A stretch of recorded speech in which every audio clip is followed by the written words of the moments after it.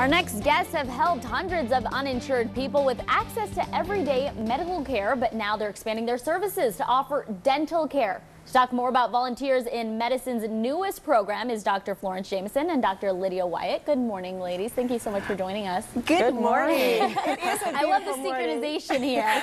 it is a good morning. It's beautiful outside. Let's go ahead and jump right into this because we are talking about dental uh, health which is very important, and you guys are expanding your services. Thank you for having us. We are so excited to come back and update you on what's going on in Volunteers in Medicine of Southern Nevada, a free and charitable clinic that provides medical care for the working poor and the uninsured that fall on hard times.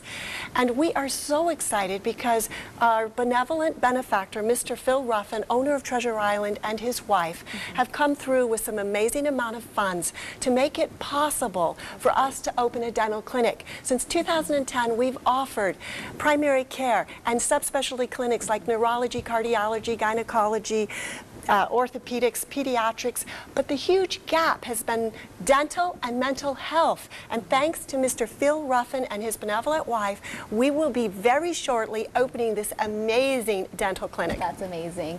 And Dr. Wyatt, let's go ahead and talk about why or what you think the benefits will be, especially for your clients that um, are already part of the program. Well, it'll be life-changing for most. Uh, most of these people have not had access to dental care ever, and so they're walking around with cavities, missing teeth, gum disease, bone disease, uh, a lot of challenges, uh, all the while trying to maintain a quality of life um, and health. So um, a healthy mouth equals a healthy life, and at, at Volunteers in Medicine, we're going to be a comprehensive care clinic where we restore teeth, give Perfect. them hope, give them a smile, um, restore their health, and we're partnering with, we've got some, some of the top uh, dentists in the valley that are volunteering their service, which we're excited about, and and we're also excited about uh, working with UNLV, Dr. Rick Theriot, and Roseman University. Mm -hmm. So we'll be uh, partnering with some really of the schools, expanding your services. Mm -hmm. That's so great. Well, if you guys want more information on how to get in touch with volunteers in medicine, you can visit their website at www.vmsn.org